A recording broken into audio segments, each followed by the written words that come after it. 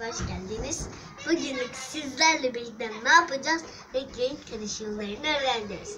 Mavi ile beyaz karışınca ne olur? Açık mavi. Ay açık maviyi çok severim. Bebeğin mavisidir.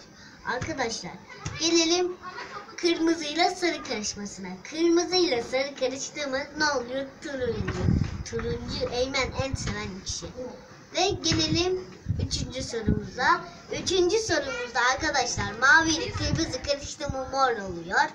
Pembe ile beyaz karıştı mı açık pembe oluyor. Arkadaşlar gördüğünüz gibi ben turuncuyla sarıyı karıştırırsam altın sarısı oluyor. O altın sarısını hemen çok seviyorum. Arkadaşlar gelelim sonuncusuna. Sonuncusunda renklerden morla mavi karıştırıyoruz. Ne olur? Sonucu lacivert. Lacivert olunca mesela diyelim sizin hiç öyle bir renkleriniz yok ama renkleri karıştırarak elde edebilirsiniz. Anladınız mı? Arkadaşlar hoşçakalın. Sizi çok seviyorum. Bay bay.